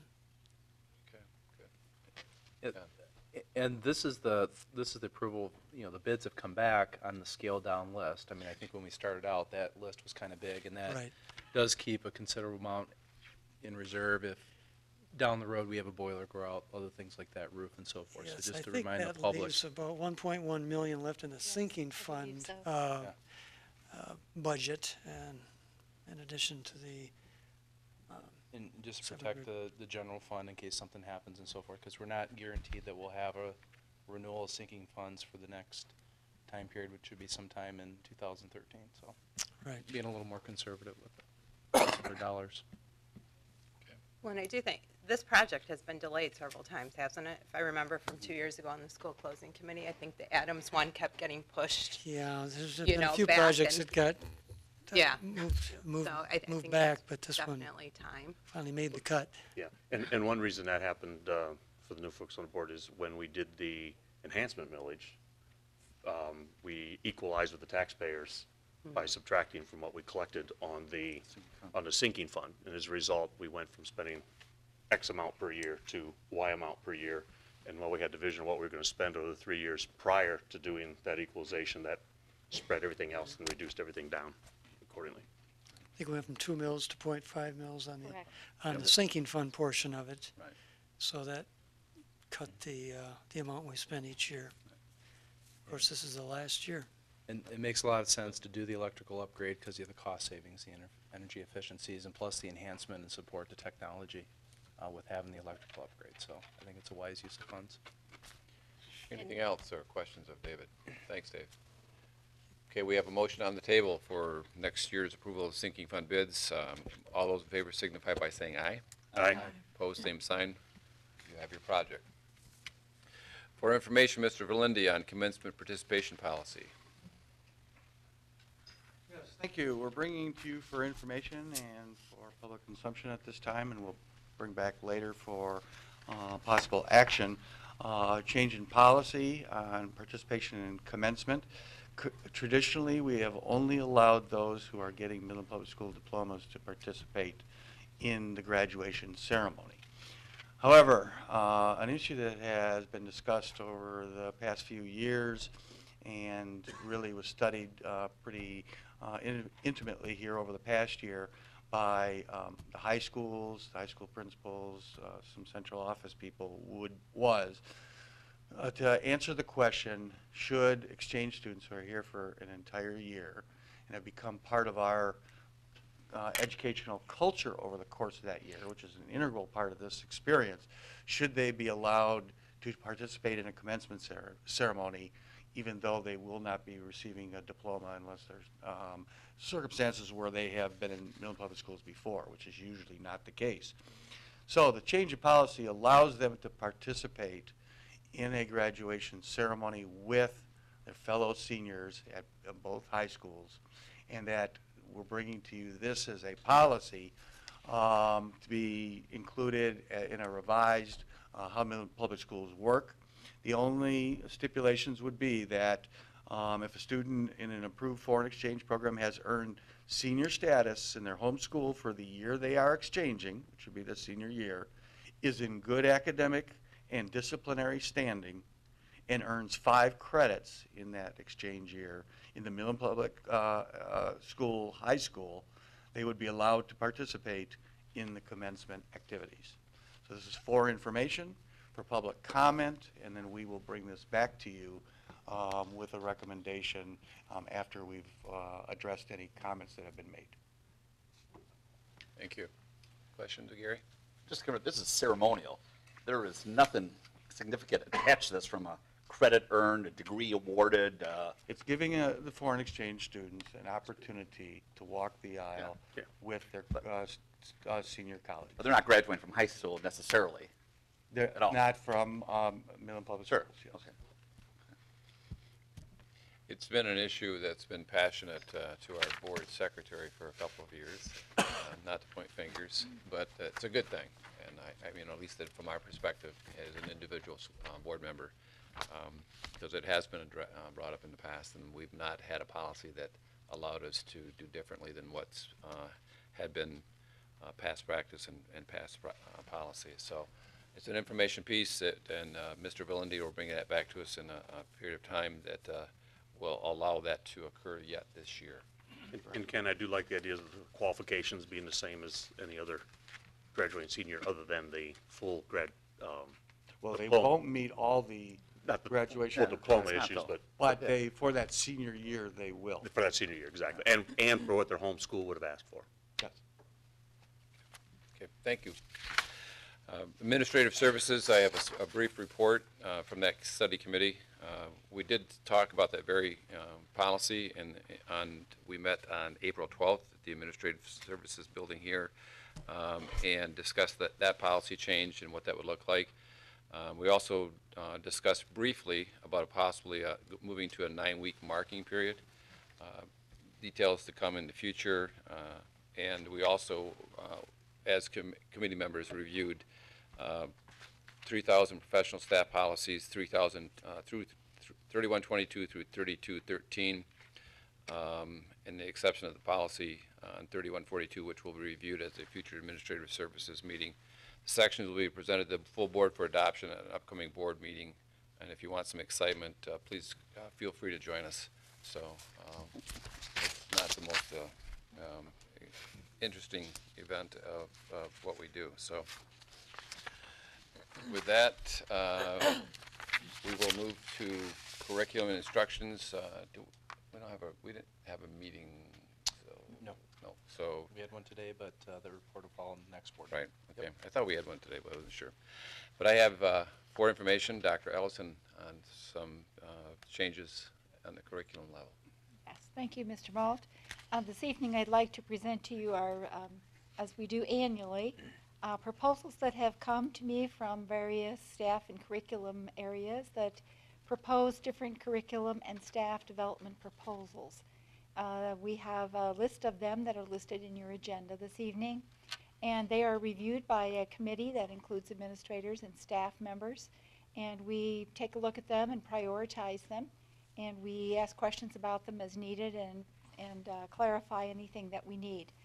Then as they work their way through all of the processes, those that have been given uh, support come to you for information this evening, and they are available for input.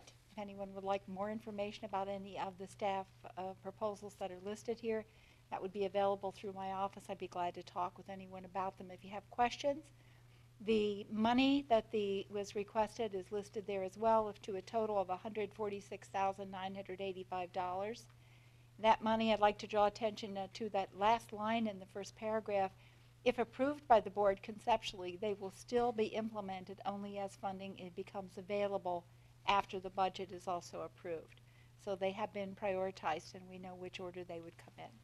So we're asking you to take a look at those, and uh, they are available for public comment for the next 28 days. and I'll bring them back at that time. Thank you. A couple quick questions while we're here at this stage. Um, These look, just a quick scan, almost entirely high school issues? Or are there No, a couple in there actually that are not. not? Carpenter focus and. I didn't see that, okay, The thank you. PYP and MYP, we have the Okay. Illuminate is uh, special education. Leadership team meetings and grade level meetings are both elementary. Uh, The kindergarten, the DIBELS Next training, those are all elementary. Beatles are K-12. Okay, I just wanted to see the distribution. And this money is for time spent? Um, some of it is for time spent, others of it might be for a consultant, it might be for paying people for hours to attend training, it might be for paying folks to develop curriculum. Um, it's different kinds of things. Those kinds of details, if you're interested, we could certainly bring more. So this doesn't include things like buying books if you need them for? No, these, Oh, okay. this does not include any purchases of books. The adoption process would be one of the other, as we look at the three main pieces of process for curriculum, We have this, this process, which is around curriculum development and staff training. We have the adoption process, which is currently going on with staff, and then as they look at books that they would like to purchase for their class, classes. And then we have the major change process, which happens in the fall, if we want to add a new course, delete a course, modify a course. We had the major changes when we added, for instance, the s- new Spanish courses that were proposed. Now, this, you see a proposal for the survey of Spanish, would- which would be paying people to develop that curriculum and train people in the development. So this is all around either staff training or curriculum development.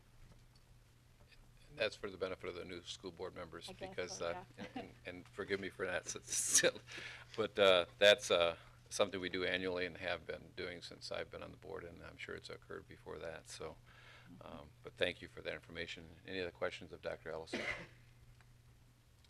If not, we'll move on to finance with Mrs. Klein. Yes, we have four gifts this evening. Three are for information only. Those three total $3,650. The donor of two of those three gifts is the H.H. Dow High School Athletic Booster Club, supporting both soccer and golf with their gifts. The other gift is from Jean and Scott Thiel, and it is in support of the Dow High School Band Program in honor of Dr. Sherry Clark. So three gifts supporting Dow High this evening.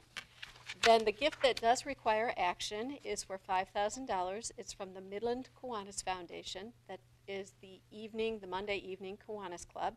And they have donated $5,000 to support a sound field system for East Lawn Elementary. And this is a classroom amplification type of system that is meant to allow students to hear better and more clearly in their classrooms. And East Lawn has an ambitious plan to implement it across the building, but they're able to do it a bit at a time as the funding becomes available. And I don't know exactly how many classrooms that this will support. Board's pleasure. So moved. Support.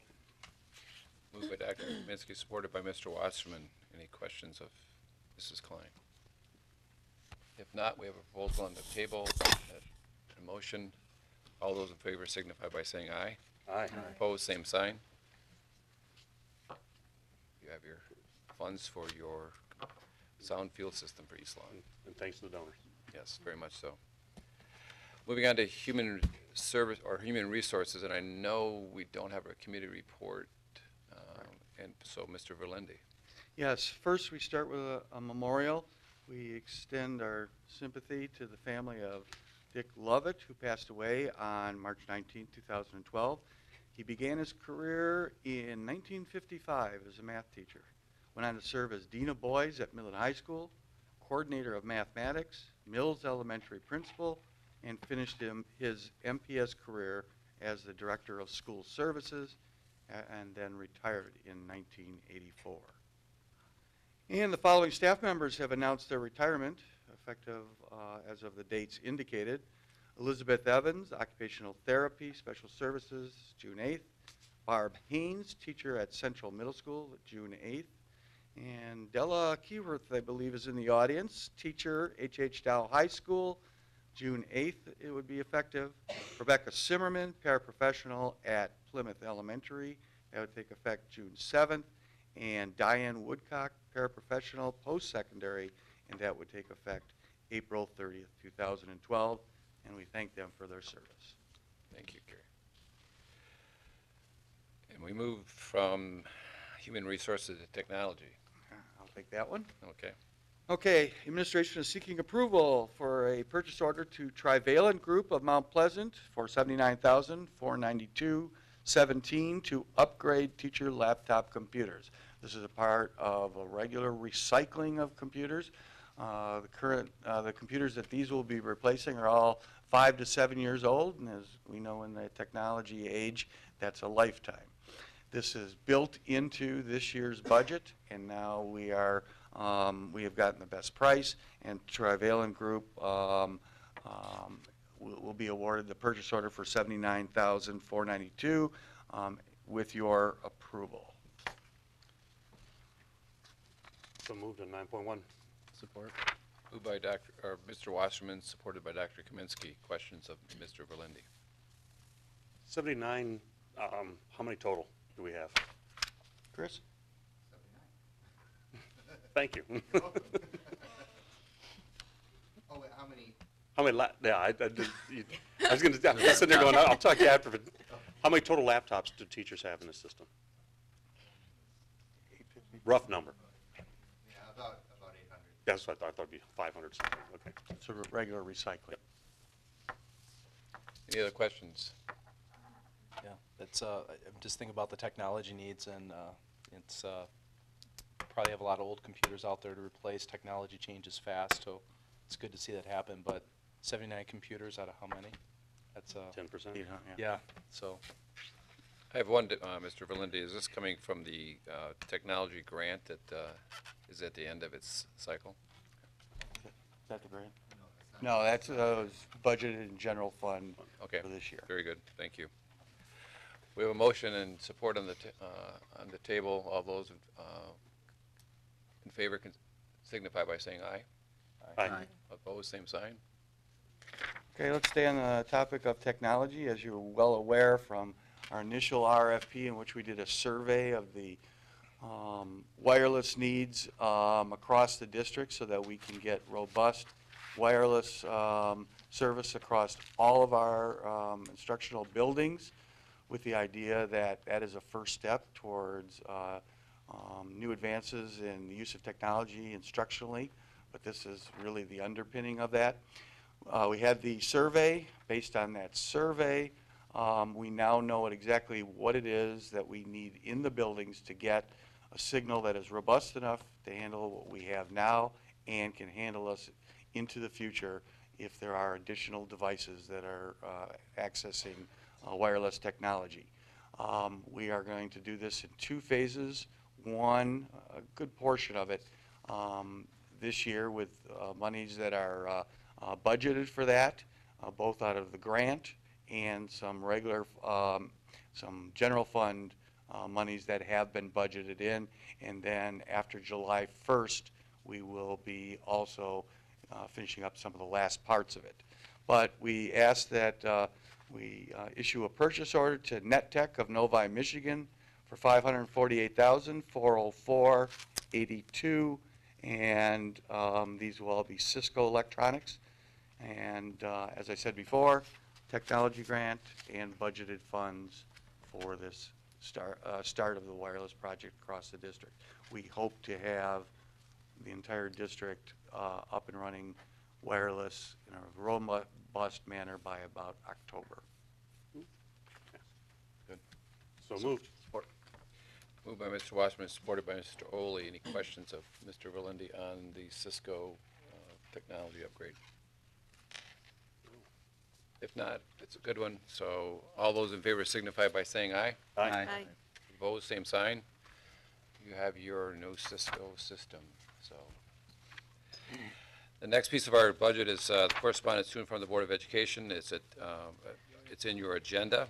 Um, And you have a scheduled, uh, the- excuse me, the scheduled activities.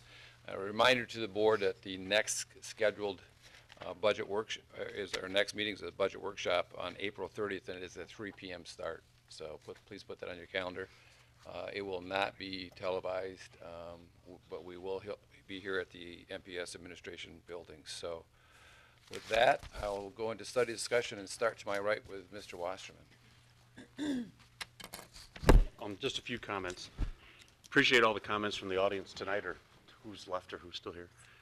Um, especially the students. Um, it was good to see their involvement, their concern, and I would call their concern for the next generation of students. It was really nice to see young people concerned about the next generation of students.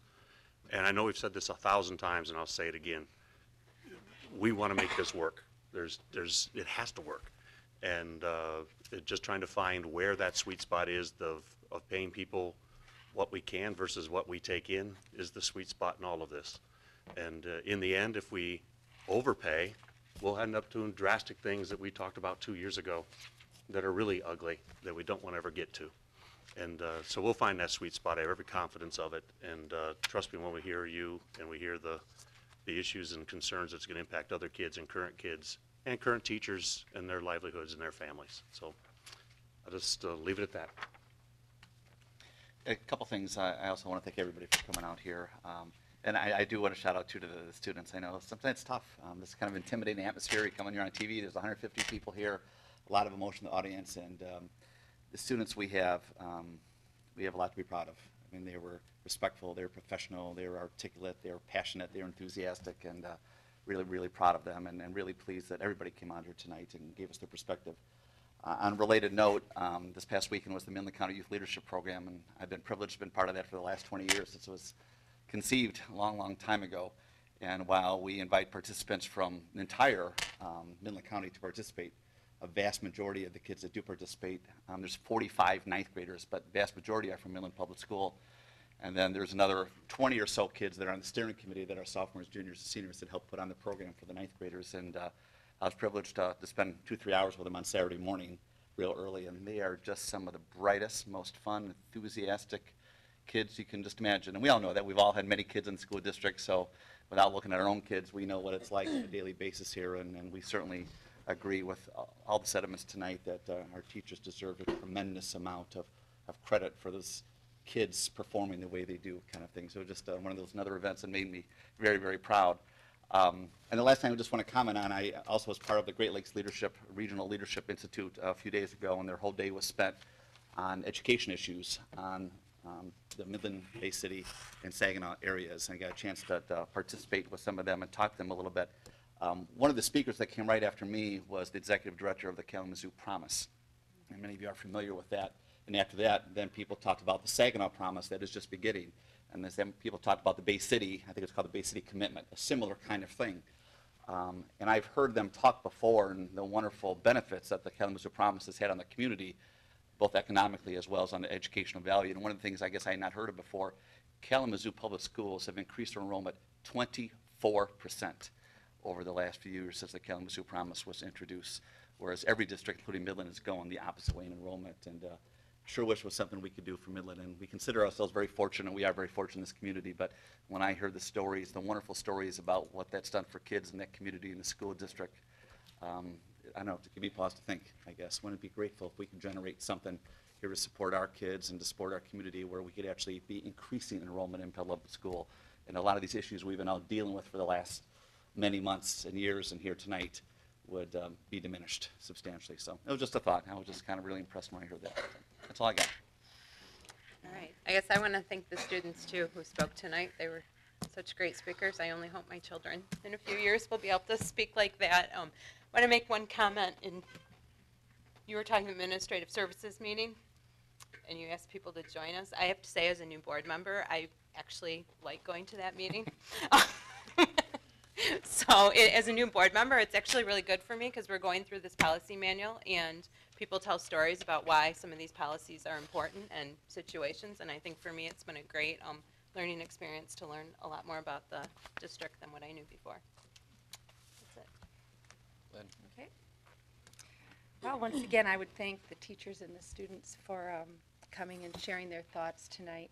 Um, I think some of the things I'm going to mention here that I've attended or are upcoming will, will echo that sentiment because they're teacher-driven, they're volunteer, student, parent-driven. And um, right before spring break, I uh, finally got a chance to get over to the, the Spanish Fiesta at Central Middle School that the fifth graders put on with their with their teachers and um, guests from the community and parents. I had no idea what to really expect. And wow, I was there, I think it was about two or three hours long between the food and the entertainment and, and uh, the games and all the things that went on. And it was just another example of those extra hours and that extra, um, that extra commitment that everybody has when, and how tremendous it can be when we work together. And um, then uh, what, what's today? Monday, Friday. Uh, I was able to get over to Dow High. They had their senior English language arts uh, exhibition with their projects. Oh my goodness, they were impressive. The, the students seemed far above their 12th grade years. This, their, their poise, their enthusiasm, and their passion for the projects that they selected, whether it was a nonprofit organization or um, an organization in the community worldwide. It just was evident to me again what we're all so proud of. and uh, it was a real privilege to be able to attend that. Upcoming, the IB Art Exhibit, I know it's going to be this weekend right here. And uh, a little bit of an extra personal uh, interest in that. My daughter has been working diligently for months to put this thing together. And of course, we were scrambling the night before everything was due. So I, I encourage people to come and visit uh, the exhibit. These, these students uh, pick a theme and work on it all year long, and it's pretty incredible what they put together. And Dow High's hairspray is this week, and I'm looking forward to that. And I know Midland High has Anything Goes coming up in May. And I last week was uh, Library Celebration Week, Reading Week, and uh, some of your Midland High students were there from the forensics and Anything Goes and performed for these uh, gals that were at this library tea last Wednesday. So just I, I just enjoy sharing these because it just shows that Midland Public Schools, teachers, students, families, parents, community, we're all over, whether it's in our schools or it's uh, uh, at a public event like at the library. And I, I, I too uh, really believe that uh, both sides I know are working so hard to come to, to uh, an agree, agreement here so we can move on beyond this. But ultimately, we all care about each other and we care about our students, and uh, that is what we're all here for. Thanks, Lynn. Yvonne? Well, I'm going to echo what everyone else said, and that is, I thank you all for coming. Um, once again, I'm just so impressed at the support you have for each other. I'm really overwhelmed by that, and especially the students. Um, I've since I've been living in Midland and have had s- children of my own in the Midland Public Schools, I have been so impressed at the things that kids who graduate from the Midland Public Schools can do, the places they can go from here, and the things they can do with their whole lives. And I've often wondered if they really know what they have or what they get here, or if they have to maybe reach a certain age before they realize what they got, the great benefit they get here that not every student gets. And so tonight I was so thrilled to hear a student say, We know how much we owe them. Because I have always maintained that students in Midland really owe their teachers at the Midland Public Schools so much. They really owe them their lives, the things these students do. I know a girl lives, well, she's from my neighborhood, who's a third year law student at Harvard University. I think that's amazing. I had dinner with my neighbor and her daughter last night. Her daughter's a sophomore at Michigan State University. And I asked her, What happens after you're done here? And she said, Well, my professor that I work for wants me to apply to graduate school at the big schools, Harvard and MIT.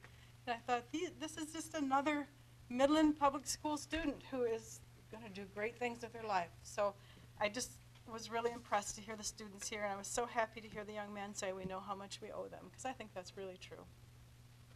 And that's all I have to say. Thanks.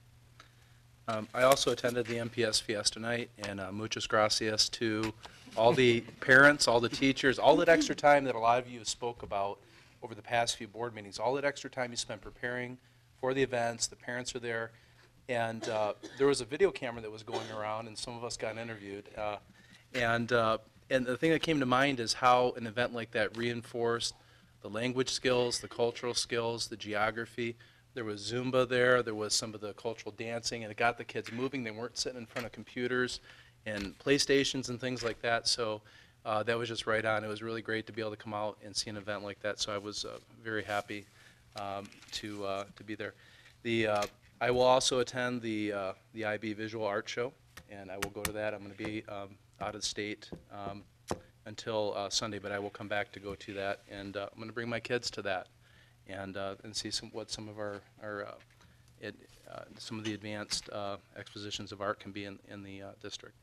Uh, the last Midland Daily News uh, Sunday paper really caught my eye. There was an editorial uh, by Jack Tuffler, and um, I brought it to the meeting to to have a reminder what our common source of frustration is with the lack of support financially for education in the state. And it was, I know we've talked about this for years and so forth, but it was a fresh article and it was a fresh um, bringing to light of the, some of the, the weaknesses that have been exposed with Proposal A. And that's a lot of where we can direct a lot of our frustrations as far as, as what's happening uh, with here. Um, and some of that does talk about how we're a donor district and some of the breaking of the promise and so forth. And so, um, you know, if, you know, and and I think of things like when we get our Michigan Association of School Board updates, how there's an effort trying to get cyber charter schools. And I'm thinking, why are we working so hard on that? Why can't we work on trying to patch together or fix some of the, of the funding for the, uh, for, for our districts like Midland Public, loss of 20J funds, over 2 million a year. I'm just thinking that that should be something that there should be some unity and support for in Lansing, not trying to work on trying to expand or create charter public schools that are uh, cyber uh, charter schools. And I just, you know, that just, that just came to mind. And that, that also does, again, bring some, you know, a common source for a lot of our frustrations. And I, I just wish we could spend our time and our energy on the students instead of having a lot of these things going on. And it does take away us a lot of our energy. And so I just, it it really, I think that, um, I appreciate you guys speaking tonight. And uh, it really does uh, put everybody on the same uh, page as far as our passions for education and um, the need to be able to have things, uh, you know, taken care of and, and uh, resolved. So it's definitely of importance to all of us. But this article definitely brings to mind uh, one of the reasons that we're kind of all powerless uh, against. Thank you. Well said, and uh, it is- it is always the best, the last is always the worst spot to be on this board uh, with respect to public comment. I would like to say to uh, Gary and Linda and to Vi and her team, uh, thank you for your uh, efforts on, at the table, and I know they're ongoing. I'm encouraged uh, by that process, by the fact that uh, we're still meeting and we're still having dialogue. Uh, Nothing gets accomplished without conversation. And so I'm, uh, again, very uh, encouraged and supportive of, of both, both sides of the table. So um, I, I, tonight, in listening to students and their, their passion, and, and there is no um, denying what, there's, what they were saying to all of us about their experience. Um, um, and I won't tell you the date. Uh, you'll have to figure that one out on your own. And, and uh, we do get math up here. Um, but in the late 60s, uh, we had a similar experience in this district, um, not over a contract negotiation, but a failed millage. And it was the students' passions, along with the parents and teachers and volunteers from across the community, that came together to support that very issue and do it, and done it, excuse me, very successfully. Um, While we weren't asked, or we did not have the opportunity to come and speak in front of the board at the time, um, we were uh, abundantly successful in this community. And I think that we will uh, persevere with this process. Um, And I think that, uh, again, encouraged by um, both teams uh, in that process, I think that uh, I'm always a believer that the cup's half full. And I'm hoping that, uh, that that be the case in, the- in th- this circumstance. So, um, had a great meeting, or actually two meetings last week with members of the community, uh, leaders in the community from small business and corporate and others, um, to talk about uh, some of the very issues we talked about this evening. And uh, a good dialogue uh, was, uh, uh, was something that we all took away from with respect to those discussions. Um, I can see many good things still going on in our district, despite um, the issues that we deal with here in this room and at the bargaining table. If you look at um, all the things that are going on with our students and respective athletic teams, um, just this evening, if you had had the opportunity to look at the paper, you see Central Middle School's forensic team made the front page, and, and what an awesome experience for those young people, and uh, to be uh, uh, in the position that they uh, ultimately ended up uh, in that competition and, and to be the number one middle school uh, in that forensic competition in the state of Michigan. So it was pretty, pretty incredible. And more to come in the future. So um, I would encourage all of you to stay uh, connected. Um, we are uh, continuing in the process, and again, I'm encouraged uh, uh, uh, greatly by how that is proceeding. So with that, Mr. Vilden, do you have anything else to add this evening? Okay. With that, we will stand adjourned at 8:54 PM.